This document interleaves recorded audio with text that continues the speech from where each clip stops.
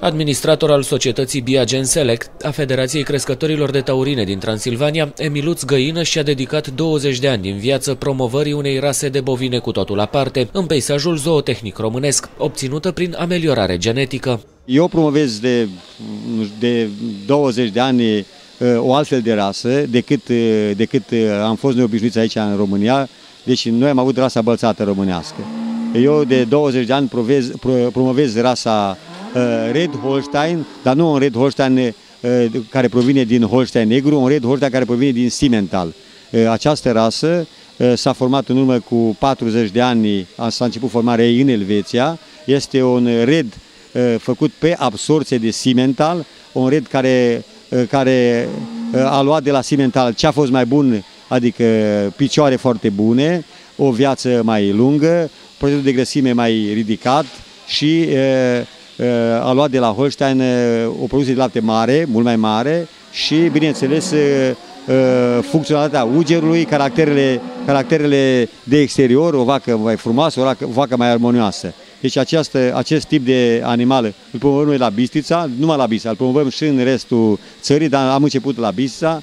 Fermierii noștri sunt foarte mulțumiți de rezultatele pe care le au și vreau să vă spun că dacă vă spun că sunt ferme, sunt vaci în ferme cu producții de 50 de litri de lapte, foarte puțin pot să creadă treaba asta. Există acest lucru, pot să vină la noi să vadă și nu este un singur exemplar. Sunt mai multe exemplare și sunt uh, fermieri care lucrează, lucrează cu genetică de top, sunt fermieri care cunosc, știu să-și facă o, o potrivire a pericolului, sigur că și noi am susținut și susținem în treaba asta și acest lucru este important. Sămânța este unul dintre lucrurile cele mai importante la care puțini fermieri acordă importanță. Deci trebuie să aibă foarte mare atenție, că sămânța este un lucru important, el trebuie ales în funcție de condiții de exploatare pe care le au fermierii. Nu orice taur merge uh, în orice, pe orice vacă, nu orice uh, rasă merge în orice fermă, deci trebuie ca genetica împreună cu mediul, cu condiții din ferme să, să, să, fie, să meargă mână în mână. Și aici este rolul fermierului, foarte important că el e proprietar și a specialiștilor care consiliază pentru a alege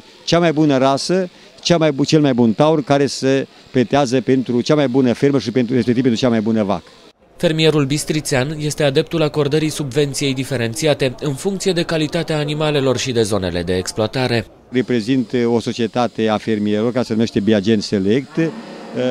care este societatea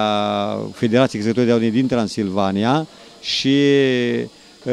eu reprezint interesele mai multor crescători, deci nu pot să vorbesc mai despre ferma Eu am o fermă mai mică, o fermă de 17 capete, Uh, pe care o am de 30 de ani și sigur pentru mine este, pot să zic așa, un hobby, pe lângă faptul că sunt directorul acestei societăți, în timpul liber, sâmbătă și în concedii, fac și activitatea la, de la fermă, o fac singur, eu produc singur forajele și sigur că o fac din pasiune, o fac din plăcere, o fac și dintr-un mic câștig pe care, pe care l-am uh, suplimentar față de activitatea profesională pe care o fac. Fermierii ar dori să fie cât de mare subvenția, dar ea nu poate să fie Uh, la, să mulțumesc pe toată lumea. Mulțumește o parte dintre ei, pe o parte nu-i mulțumește. Uh, sigur, eu am, uh, am făcut și demersuri, am și spus-o, trebuie să subvenția să fie diferențiată în funcție de calitatea animalelor, lucru care nu se întâmplă astăzi și trebuie să se întâmple dacă dorim să promovăm calitatea animalelor. Doi, trebuie să promovăm, să fie diferențiată în funcție de zona în care se cresc animalele, pentru că nu tot una să exploatezi animalul în zonă de munte sau în zonă montană sau în zonă de deal sau în zonă de câmpie, altfel se întreține o vacă sau o fermă într-o zonă sau alta. Deci, cel puțin din două motive trebuie să fie diferată. Unul, repet, este calitatea animalului și doi, este zona în care sunt exploatate animalele.